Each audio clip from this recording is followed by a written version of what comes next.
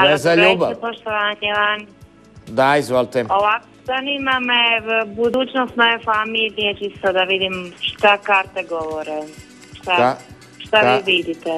Pa ovako, ja mislim i karte govore da vaša budućnost e, ide na bolje, zato što je vaša familija neshvaćena u vašoj okolici. Neshvaćena je.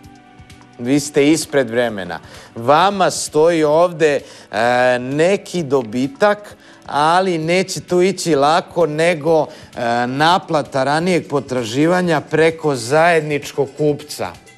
Zajedničkog kupca koji je dugovo prethodnom vašem dobavljaču.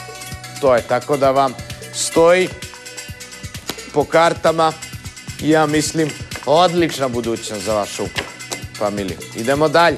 Eto. Odmah ste pozvali, odmah ste dobili vezu i to je. A u šta je uopšta navala? Završavam emisiju. Alo, izvolite.